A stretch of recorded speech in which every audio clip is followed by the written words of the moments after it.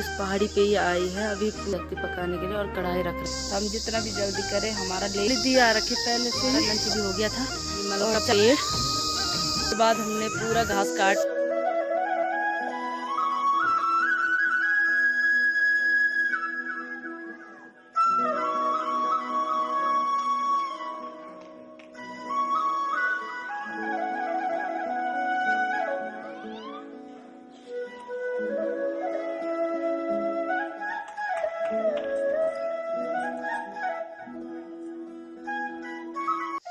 hello guys welcome to my YouTube channel इन सोनी के blogs आज आप सब बढ़िया होंगे, मैं भी बढ़िया हूँ। ब्लॉगिंग की शुरुआत हो रही है आज सात बजे से और मैं थोड़ी देर पहले ही खड़ी उठी हूँ।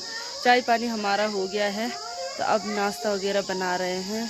और मौसम की बात की जाए तो अभी तो धूप नहीं आई है तो अभी तो ठंडा ठंडा सा हो रहा है मौसम।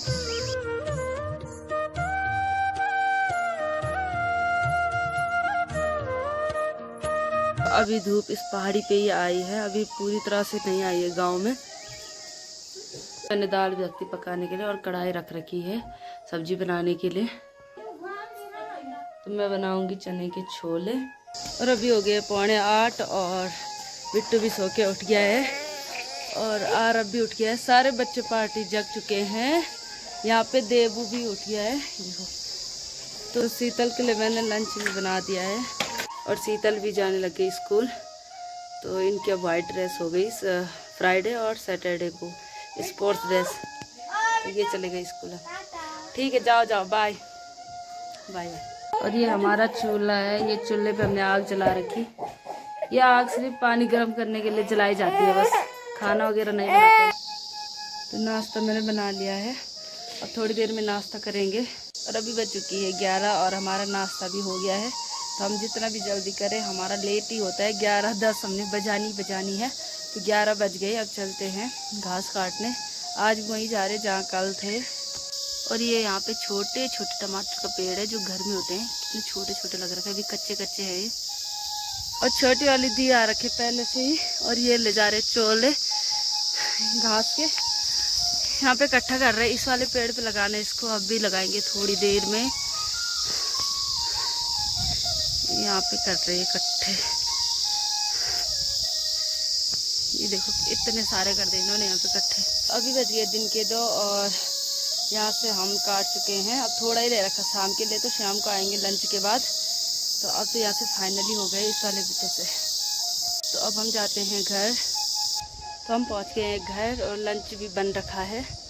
तो अभी हो गए साढ़े तीन, अब मैं भी करती हूँ लंच। कुछ लोग तो कर रहे हैं लंच। और मैं नहाई।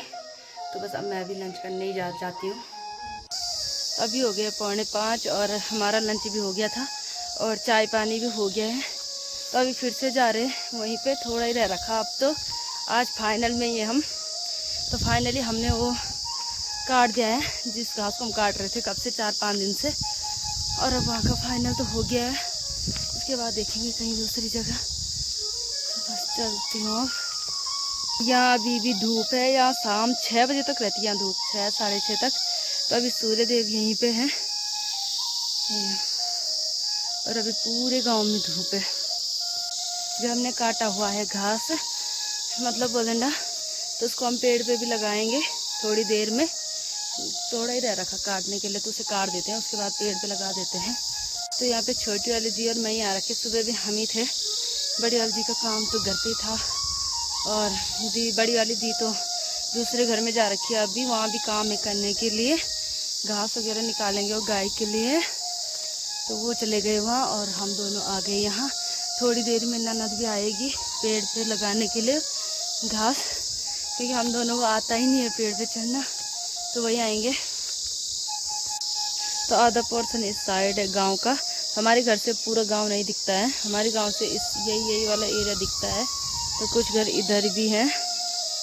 ये है भीमल का पेड़। ये देखिए, भीमल का पेड़। इसमें पुराने ज़माने के लोग पता क्या करते थे? इसका शैम्पू भी बनाते थे, इसको छील कर इसकी जो ये होती है ना, कली, तना तो इसको छील कर लोग शैम्पू वगैरह का इस्तेमाल करते थे।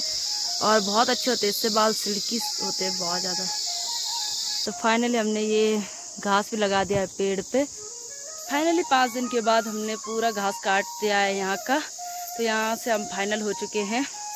पूरे पाँच दिन लगे हमारे। तो अब चलते हैं यहाँ से घर। अभी बच चुके गाइज़ आठ और हमारा खाना पीना बन रहा है। यहाँ पे दीदी रोटी बना रहे हैं और सब्ज़ी अभी पक रही है। अब रो रहा है।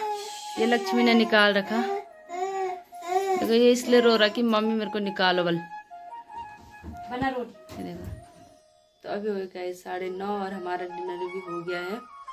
तो आठ बजे का डिनर बन रखा था तो फैम, फैमिली के साथ हो ही जाता है। साढ़े नौ तो बज ही गए हैं और अब हमारी सोने की तैयारी तो इसी के साथ मैं अपना ब्लॉग का एंड करती हूँ। आई होप आपको आज का ब्लॉग पसंद आया होगा। अगर वीडियो अच्छी लगी तो वीडियो को लाइक करें कमेंट करें और अपने दोस्तों के साथ शेयर करें। और अगर मेरे चैनल पर नए हो तो प्लीज़ गाइस चैनल को सब्सक्राइब करना ना भूलें। मिलती हूँ आपको नेक्स्ट ब्लॉग में तब तक के लिए बाय टेक केयर